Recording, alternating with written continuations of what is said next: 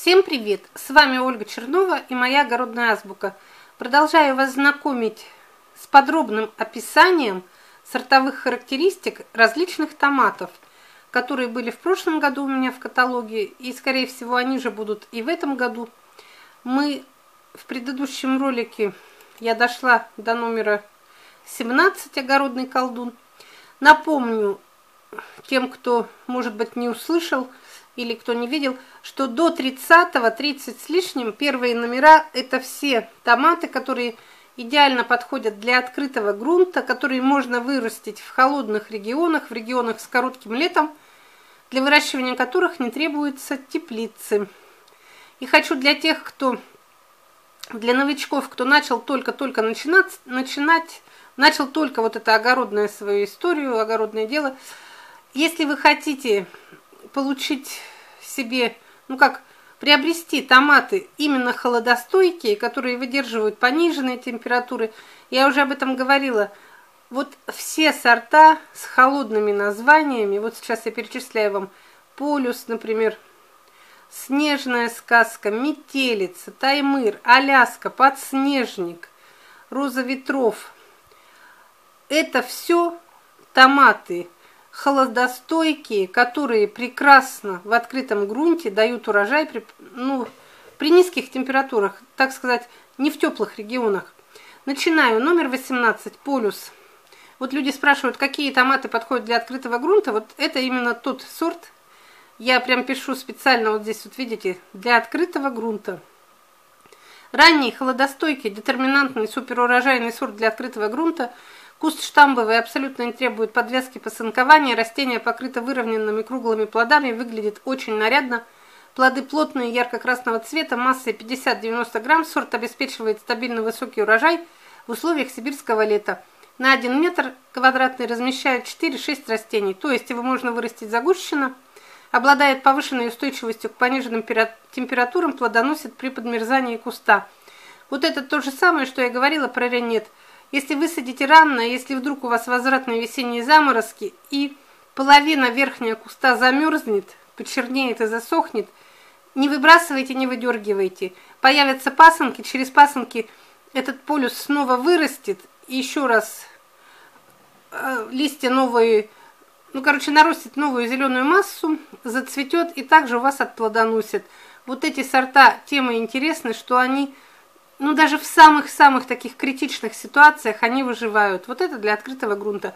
Конечно, плоды небольшие, больше 100 грамм они даже не бывает. Вот тут указано 90, ну, от силы 100 грамм.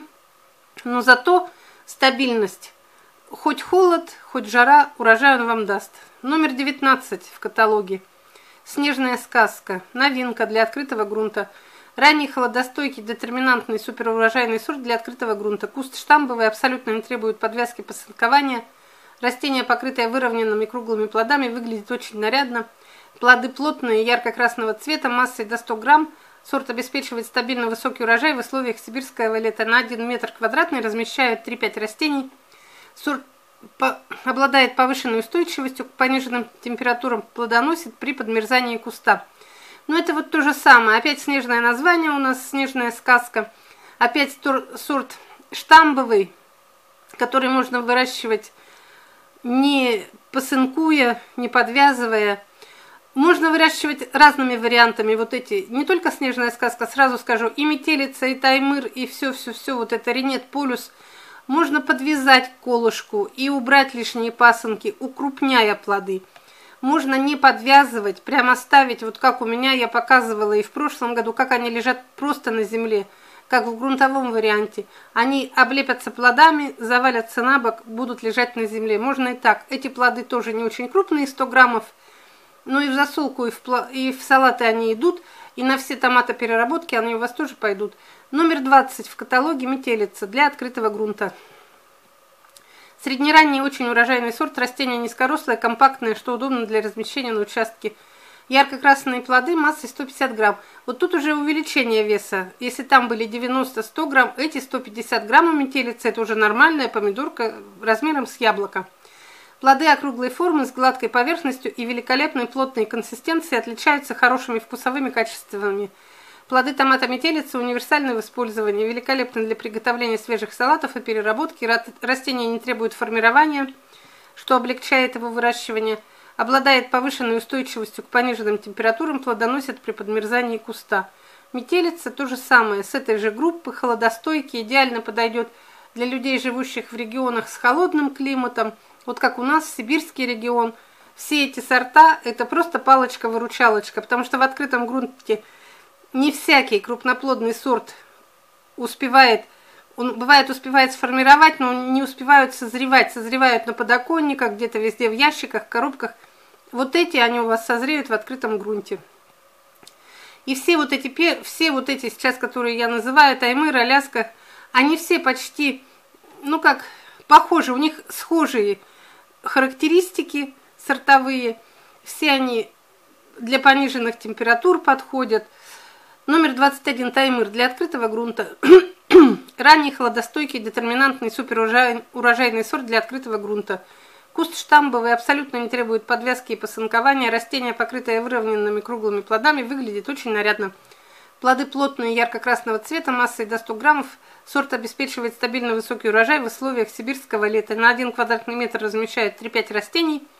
Высота до 30 сантиметров, компактный, не вытягивается, обладает повышенной устойчивостью, к пониженным температурам плодоносит при подмерзании куста. Вот это таймыр. Вот как раз я его снимала вчера, по-моему, или позавчера, там, где написано, что малыши на заваленке. Вот там вот эти низкие такие 30-сантиметровые кустики, они все-все-все уже в плодах в завязи. Он очень такой хороший, продуктивный урожайный сорт – такой же номер 22 Аляска для открытого грунта. Ранний хладостойкий, детерминантный, суперурожайный сорт для открытого грунта. Куст штамбовый, абсолютно не требует подвески и посынкования. Растение, покрытое выровненными круглыми плодами, выглядит очень нарядно. Плоды плотные, ярко-красного цвета, массой до 100 граммов. Сорт обеспечивает стабильно высокий урожай в условиях сибирского лета на 1 метр. Размещают 3-5 растений – обладает повышенной устойчивостью к пониженным температурам, плодоносит при подмерзании куста. Мне просят, ну как прям требуют, указывать, вытягивается или нет в рассаде. Вот до подснежника, до номера 23, то, что я сейчас называла, вот эти все толстоногие, они не вытягиваются в рассаде. Это Аляска, Таймыр,